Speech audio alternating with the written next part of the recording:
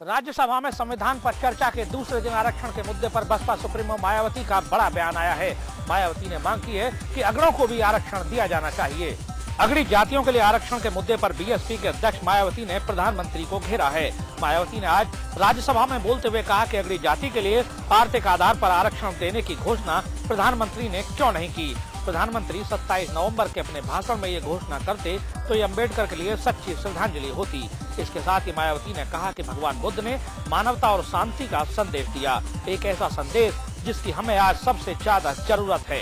इसके साथ ही उन्होंने कहा कि प्रधानमंत्री जब विदेश दौरों पर होते हैं तो बौद्धित्व की बातें करते हैं, लेकिन देश में प्रधानमंत्री के साथियों के काम भगवान बुद्ध की शिक्षाओं के विपरीत हैं। संसद में शीत सत्र के पहले दो दिनों को बाबा साहेब भीमराव अंबेडकर को समर्पित किया गया था। राज्यसभा में आरक्षण पर बहस के दौरान आज बहुजन समाज पार्टी की अध्यक्ष मायावती ने केंद्र सरकार पर जमकर हमला बोला। मायावती ने खुद को फंसाए जाने को लेकर भी मौजूदा बीजेपी सरकार के साथ ही पूर्व की कांग्रेस सरकार को भी घेरा। मायावती ने कहा कि सीबीआई का दुरुपयोग करके बीजेपी और कांग्रेस दोनों ने मुझे फंसाया। इस बार भी बीजेपी वही हथकंडा अपना रही है, लेकिन उसे मुँह की खानी पड़ेगी, ऐसा मेरा सरकार को चैलेंज है। केंद्र सरकार के साथ ही बीजेपी पर भी बसपा सुप्रीमो मायावती ने जमकर हमला बोला। उन्होंने कहा कि जब उनकी सरकार थी तो बीजेपी की ओर से उन पर भारी दबाव था कि सरकार को हिंदुवादी तरीके से चलाया जाए, लेकिन उन्होंने यह बात नहीं मानी। बदले में उनको जमकर धमकियाँ मिली, लेकिन उन्होंने संविधान का सम्मान किया। असहिष्णुता के मुद्दे पर मोदी सरकार को मिला है समाजवादी पार्टी का समर्थन। सपा नेता रामगोपाल यादव की माने तो इस मुद्दे को जितना तूल दिया जाएगा, उतना ही बढ़ेगा तनाव। संसद के शीतकालीन सत्र की असल शुरुआत सोमवार से हुई, क्योंकि पहले दो दिन तक केवल डॉक्टर भीमराव अंबेडकर के संविधान में योगदान को लेकर ही चर्चा होनी थी। वहीं राज्यसभा में नियम 267 के तहत बहस करवाई जा रही। बहस के दौरान समाजवादी पार्टी के राज्यसभा सांसद और पार्टी के वरिष्ठ नेता रामगोपाल यादव ने साफ़ कर दिया कि मोदी सरकार को इस मुद्दे पर सपा का समर्थन हासिल है और असहिष्णुता के मुद्दे पर जितनी बहस कराई जाएगी, उतना ही ये मामला पुल पकड़ेगा। रामगोपाल यादव ने भारत सरकार की नीतियों का परोक्ष समर्थन करते हुए कहा कि जितनी सहिष्णुता भारत में है, उतनी संसार के किसी और देश में नहीं। है असहिष्णुता के मुद्दे पर लोकसभा में चर्चा के दौरान मोहम्मद सलीम के एक बयान पर जमकर हंगामा हुआ। अपने ऊपर लगाए गए आरोपों से आहत राजनाथ सिंह ने भावुक अंदाज में मोहम्मद सलीम के आरोपों को गलत करार दिया। इसके बाद बीजेपी सांसद मोहम्मद सलीम की माफ़ी की मांग करने लगे। लगातार हंगामा होता रहा और इस बीच लोकसभा की कार्रवाई को कई बार स्थगित भी करना पड़ा। सोमवार का दिन लोकसभा में असहिष्णुता के मुद्दे पर चर्चा के लिए रखा गया था। चर्चा के दौरान सीपीएम सांसद मोहम्मद सलीम ने केंद्रीय गृह मंत्री राजनाथ सिंह पर एक विवादित बयान देने का आरोप लगाया। मोहम्मद सलीम ने एक पत्रिका का हवाला देते हुए कहा कि मोदी सरकार के सत्ता में आने के बाद गृह मंत्री ने कहा था कि देश को 800 साल बाद एक हिंदू शासक मिला है। इस बयान को लेकर लोकसभा में ज़बरदस्त हंगामा हो गया। खुद गृह मंत्री राजनाथ सिंह ने कहा कि उन्होंने ऐसा कोई बयान नहीं दिया और मोहम्मद सलीम सबूत दे कि उन्होंने यह बात कब और कहाँ कही। अन्यथा सदन से माफ़ी मांगे। भावुक होते हुए राजनाथ सिंह ने कहा कि वह इस आरोप से आहत है। राजनाथ सिंह ने यह भी कहा कि मैं काफ़ी सोच समझकर बोलता हूँ, क्योंकि अगर गृह मंत्री पद पर बैठा व्यक्ति इस तरह का बयान देता है तो उसे पद पर बने रहने का हक नहीं है। विवाद बढ़ने पर लोकसभा अध्यक्ष इस आरोप को रिकॉर्ड से हटाने को तैयार हो गई, लेकिन बीजेपी मोहम्मद सलीम की माफ़ी की मांग पर अड़ी रही। जबकि मोहम्मद सलीम ने कहा कि मेरी मंशा किसी को आहत करने की नहीं थी। मैंने एक मैगजीन के खबर के संदर्भ में यह बात कही थी और सरकार को मैगजीन में छपे इस बयान की जाँच करवानी चाहिए। बीजेपी को मोहम्मद सलीम की माफ़ी से कम कुछ मंजूर नहीं था, जबकि मोहम्मद सलीम माफ़ी मांगने को तैयार नहीं थे। ऐसे में बैकडोर से बातचीत का चैनल खोला गया और आखिरकार यह तय किया गया कि इस बयान को रिकॉर्ड से हटा दिया जाए और सत्र चलाने की मजबूरी के चलते बीजेपी को यह स्वीकार करना पड़ा। प्रधानमंत्री नरेंद्र मोदी और अमेरिका के राष्ट्रपति बराक ओबामा आज पेरिस में मुलाकात करेंगे। दरअसल दोनों देशों के द्विपक्षीय संबंधों की प्रगति पर ये दोनों नेता समीक्षा करेंगे। इसके अलावा दोनों नेता आतंकवाद, वैश्विक और स्थानीय मुद्दों की भी चर्चा करेंगे। आपको बता दें कि दोनों नेता जलवायु परिवर्तन के कार्यक्रम पे हिस्सा लेने पेरिस पहुँचे हैं। ओबामा और मोदी मुख्य रूप से जलवायु परिवर्तन पर ध्यान केंद्रित करेंगे, लेकिन साथ ही वे द्विपक्षीय संबंधों की दिशा में हुई प्रगति की भी समीक्षा करेंगे और आतंकवाद समेत वैश्विक एवं क्षेत्रीय मामलों पर बातचीत करेंगे। व्हाइट हाउस की ओर से कल जारी राष्ट्रपति के कार्यक्रम की समय सारणी के अनुसार दोनों देशों के नेता कुछ देर के लिए मीडिया से भी रूबरू होंगे और बयान देंगे। ओबामा अपने चीनी समकक्ष शी जिनपिंग के साथ भी सुबह द्विपक्षीय बैठक करेंगे। इससे पहले वो सितंबर में संयुक्त राष्ट्र महासभा के तर न्यूयॉर्क में मिले थे। पेरिस में होने वाली मुलाकात उनकी छठी द्विपक्षीय बैठक होगी। अब इन दो दिग्गज नेताओं की ये छठी रिकॉर्ड मुलाकात है। उम्मीद है कि इससे दोनों देशों के संबंध और बेहतर होंगे और दोनों देश के नेता आतंकवाद के खिलाफ किसी नई रणनीति के साथ सामने आएँगे। लोकसभा में सीपीएम सांसद मोहम्मद सलीम के बयान पर हंगामा मच गया। मोहम्मद सलीम ने कहा कि पीएम मोदी के शपथ ग्रहण के बाद गृह मंत्री राजनाथ सिंह ने कहा था कि देश में 800 साल बाद कोई हिंदू शासक बना है। जब चुनाव के बाद मोदी जी सत्ता में आए भाषण में क्या कहा गया? आठ सौ साल बाद कोई हिंदू फिर से इस देश का शासक बना है। दिल्ली विधानसभा में आप सरकार के लोकपाल बिल पेश करने को लेकर खूब हंगामा हुआ।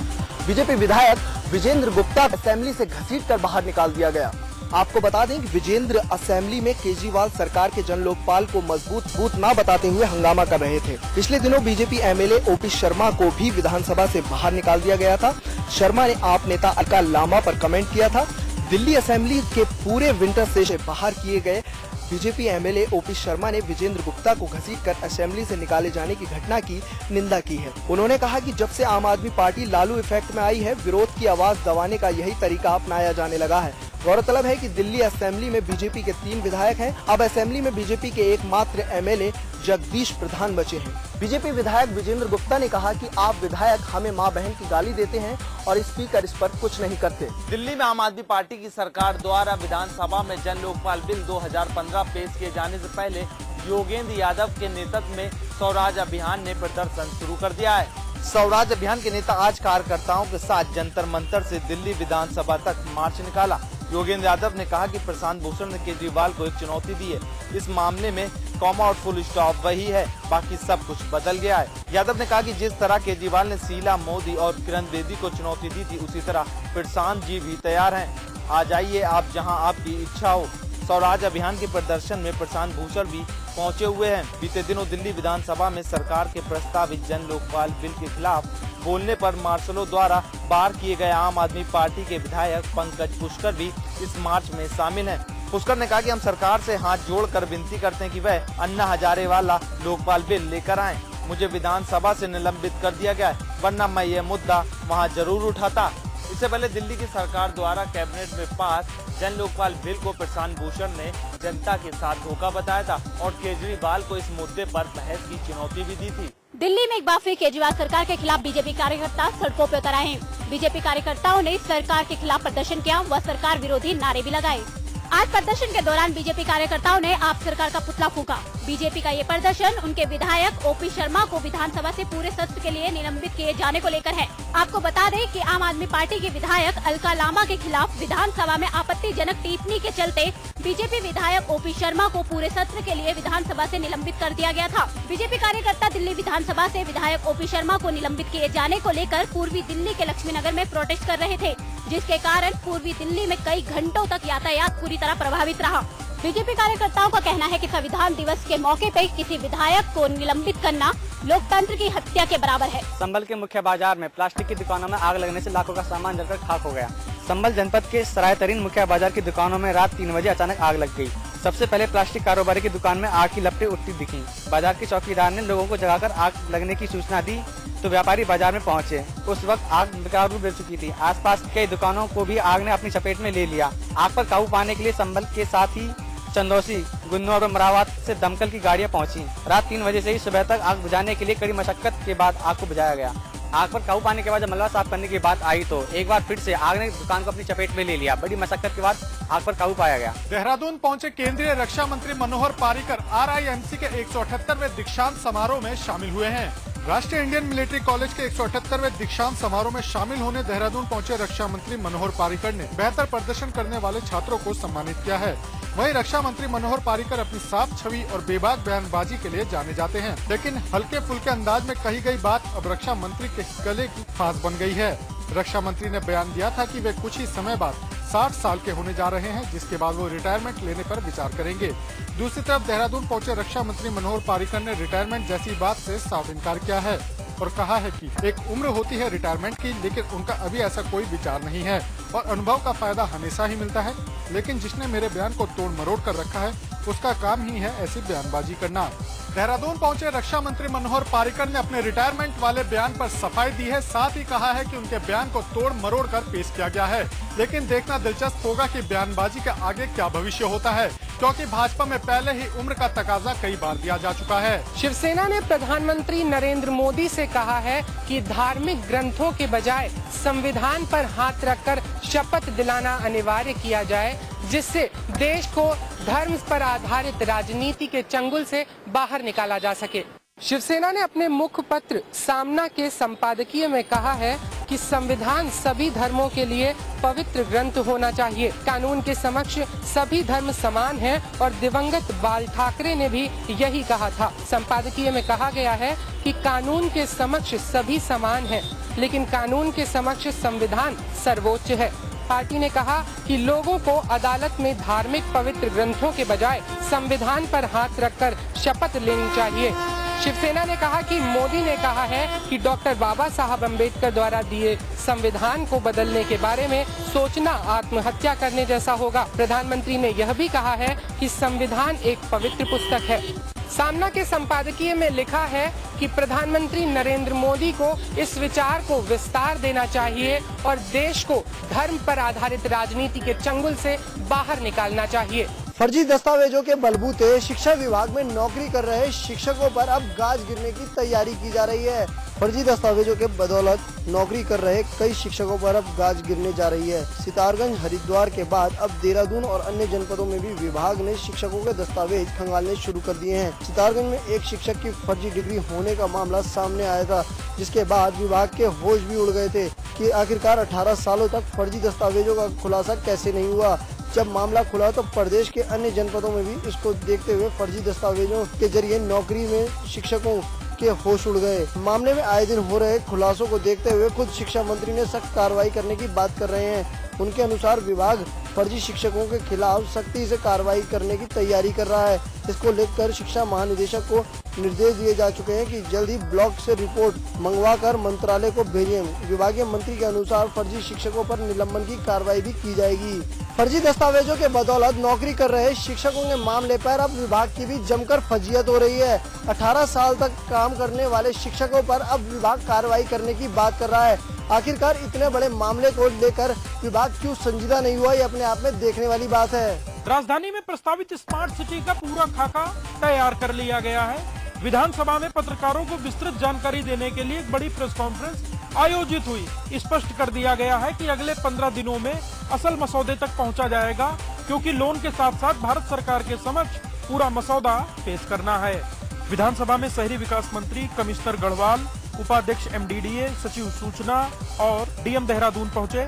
यहाँ इन्होंने विस्तृत रूप से जानकारी देते हुए बताया कि स्मार्ट सिटी के लिए पहले रायपुर जौली ग्रांट विकासनगर शिमला बाईपास का सर्वे किया गया।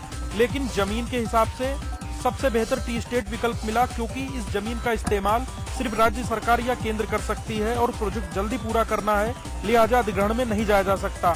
यूँ तो 250 एकड़ भूमि की आवश्यकता है, लेकिन 1200 एकड़ का प्रस्ताव इसलिए रखा जा रहा है ताकि भविष्य में होने वाले विस्तार से भी लोगों को राहत मिलेगी और एक बेहतर दून के साथ साथ स्मार्ट सिटी जो कि नॉलेज सिटी के रूप में विकसित होगी, को तैयार कराया जाएगा। 60 और 40 के रेशियो से निवेश होगा और हुडको से 2100 करोड़ रुपए लोन की दरकार एमडीडीए को है, ताकि स्मार्ट सिटी का मसला आगे बढ़ सके। उपाध्यक्ष एमडीडीआर मीनाक्षी सुंदरम के मुताबिक चाइना की तोंगजू यूनिवर्सिटी कंसल्टेंसी के साथ साथ प्रोजेक्ट में निवेश भी करेगी। वहीं चाय बागान के विस्थापित मजदूरों को बाकायदा प्रोजेक्ट में शामिल किया जाएगा। उन्हें मकान के साथ साथ ज़रूरी श्रम कार्यों में भी लगाकर उनकी रोजी रोटी की पूरी व्यवस्था की जाएगी। हरिद्वार में पंचायत चुनाव को लेकर सुरक्षा व्यवस्था मज़बूत करने में जुटी पुलिस। आईजी संजय गुंजियाल ने हरिद्वार से तमाम संवेदनशील बूथों की रिपोर्ट की तलब। हरिद्वार ज़िले में आगामी पंचायत चुनाव को लेकर पुलिस ने कमर कस ली है। पंचायत चुनाव शांतिपूर्ण तरीके से संपन्न हो, इसके लिए पुलिस पूरी मुस्तैदी के साथ कार्य कर रही है। उत्तर प्रदेश के संवेदनशील जनपदों से सटे हरिद्वार ज़िले के गाँव को लेकर पुलिस ज़्यादा सतर्क है। आईजी संजय गुंजियाल ने ज़िले से संवेदनशील बूथों व संवेदनशील स्थलों की रिपोर्ट तलब की है। साथ ही ऐसे पुलिस कर्मियों की रिपोर्ट भी मांगी गई है, जो पुलिसकर्मी तय कार्यकाल पूरा होने के बावजूद अपने कार्य क्षेत्रों में डटे हुए हैं। पुलिस आचार संहिता का सख्ती से पालन कराने की पूरी कोशिश करेगी, साथ ही शराब तस्करी और गुंडा प्रवृत्ति के लोगों पर पुलिस की विशेष नज़र बनी होगी। आईजी संजय गुंजियाल ने हरिद्वार ज़िले के ऐसे लोगों की भी लिस्ट मांगी है जो आए दिन ग्रामीण इलाकों में बेवजह माहौल खराब करने का काम करते हैं। इलाहाबाद के कनगन थाना इलाके में शादी समारोह में लड़की से छेड़खानी के बाद छात्रों और दुकानदारों के बीच हुई झड़प के बाद पूरा इलाका बमों की आवाज़ से थर्रा उठा। इलाहाबाद के कनगन थाना क्षेत्र में एक दिन पहले ही एक शादी समारोह में छात्रों द्वारा की गई छेड़खानी के विरोध में दुकानदारों ने छात्रों की जमकर पिटाई की थी। उसको देखते हुए भारी बवाल मचा था, जिसको देखते हुए प्रशासन ने भारी फोर्स तैनात कर दी गई थी। लेकिन चुनाव ड्यूटी के दौरान फोर्स जैसे ही रवाना हुई, वैसे ही छात्रों का उपद्रव फिर से शुरू हो गया। उसके बाद दुकानदारों ने भी अपना हाथ साफ़ किया। यही नहीं, दोनों तरफ़ से जमकर बमबाजी हुई। पूरा इलाका बमों की आवाज़ से थर्रा उठा। पुलिस प्रशासन ने कई थानों की फोर्स मंगाकर हालात को काबू किया और उसके बाद हॉस्टलों में छापेमारी कर कई छात्रों को हिरासत में लिया है। तो वहीं कई दुकानदारों को हिरासत में लेकर पूछताछ कर रही है। फ़िलहाल मामले को गंभीरता से लेते हुए एक बटालियन पीएससी कन्नगर थाने में तैनात कर दी गई है। छात्रों और दुकानदारों की झड़प को देखते हुए कई थानों की फोर्स को मौके पर बुलाया गया और किसी तरह से मामले को शांत कराया गया। फ़िलहाल प्रशासन ने कई हॉस्टलों में छापेमारी कर कई छात्रों को गिरफ़्तार किया है तो वहीं कई दुकानदारों को भी हिरासत में लेकर पूछताछ कर रही है। वाराणसी के एक क्लब में दिवाली समापन समारोह में पहुँचे पॉप गायक दिलेर मेहंदी, उन्होंने अपने गायक से समा बांधी दिलेर मेहंदी ने मीडिया से बात करते हुए असहिष्णुता पर कहा कि उन्हें भारत में कोई तकलीफ़ नहीं है और वो यहाँ बहुत खुश हैं। बाकी कोई क्या कहता है, मुझे नहीं पता क्योंकि मैं टीवी नहीं देखता हूँ। मुझे नहीं पता। इसके अलावा उन्होंने ये भी बताया कि मैं पाकिस्तान जा चुका हूँ। मुझे वहाँ बहुत प्यार मिला। इमरान खान के कैंसर हॉस्पिटल के लिए मैंने दस करोड़ की चैरिटी जुटाई। पाकिस्तान में भारतीय कलाकारों के लोग फ़ैन हैं। उनके पोस्टर उनके घर में मिल जाते हैं। यहाँ की सीरियल देखकर पाकिस्तानी महिलाएँ चूड़ियाँ पहनती हैं और बिंदी लगाती हैं। वहीं नरेंद्र मोदी की तारीफ़ करते हुए उन्होंने गाया नमोगान वाराणसी पहुँचे दिलेर मेहदी ने कहा कि मुझे भारत में कोई तकलीफ़ नहीं, मैंने बहुत जगह घूमा है, लेकिन सारे जहाँ से अच्छा है, हिंदुस्तान हमारा। और मोदी की तारीफ़ करते हुए उन्होंने नमो गान भी गाया मन की बात में प्रधानमंत्री द्वारा सोलर दीदी का नाम लिए जाने के बाद अब विवाद खड़ा हो गया है, जहाँ प्रधानमंत्री ने सोलर दीदी का नाम नूरजहां लिया है। वहीं समाचार प्लस की टीम ने अपनी पड़ताल के बाद गुड़िया सोलर दीदी को ढूंढ निकाला है। प्रधानमंत्री के मन की बात में गांव-गांव को रोशन करने वाली सोलर दीदी नूरजहां का नाम लेने के बाद समाचार प्लस ने अपनी पड़ताल कर सही सोलर दीदी गुड़िया को ढूंढ निकाला। वह फतेहपुर की रहने वाली हैं। सोलर दीदी गुड़िया एक विधवा है। वह श्रमिक भारतीय संस्था के द्वारा यह काम करती हैं। पति बिने गुजरात में काम करते थे। उनकी 2011 में मौत हुई थी। तब से ही गुड़िया घाटमपुर के हड़ा गाँव में रहकर सोलर लैंप बना कर गाँव के घर घर में सोलर लैंप लगाती है और रिपेयरिंग भी करती हैं। प्रधानमंत्री ने जिस नूरजहां का नाम लिया है वह सोलर दीदी नहीं है। नूरजहाँ के घर घर गुड़िया की संस्था श्रमिक भारती का एक सोलर ग्रिड लगी है। नूरजहाँ को श्रमिक संस्था हर महीने 1500 उसे ग्रिड के एवज में किराया भी देती है। श्रमिक संस्था का कहना है कि सोलर दीदी तो गुड़िया ही है। नूर जहाँ का सोलर दीदी से कोई भी मतलब नहीं है। वहीं समाचार प्लस की बात करने के दौरान सोलर दीदी गुड़िया ने कहा है कि प्रधानमंत्री ने जिस नूरजहां का नाम लिया है, उन्होंने सिर्फ़ अपने घर में टावर लगा रखा है और जिसका वो किराया वसूलती हैं, जबकि सोलर को लेकर के गाँव गाँव जाकर के रोशन करने का काम उन्होंने किया है।